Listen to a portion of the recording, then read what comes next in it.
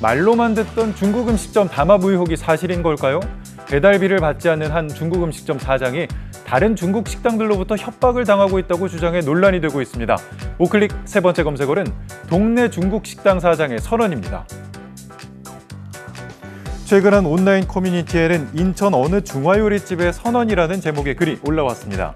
글쓴이는 중화요리집 사장이 배달 어플에 게시한 내용을 공유했는데요.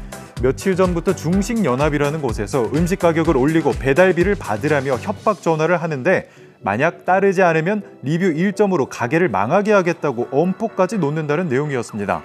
이에 중국 음식점 사장은 연합이들과 싸워보려고 한다며 경기가 이렇게 안 좋은데 가격 담합을 한다는 건 말이 안 된다고 강조했는데요. 그러면서 가게를 접을 때까지 지금 음식 가격 그대로 무료 배송을 하겠다고 알렸습니다. 사연이 알려지면서 많은 사람들이 지지하고 나섰고 포털 사이트에선 중식연합이 집중적으로 검색되고 있다는데요. 누리꾼들은 착한 음식점이라고 칭찬은 못해줄 망정.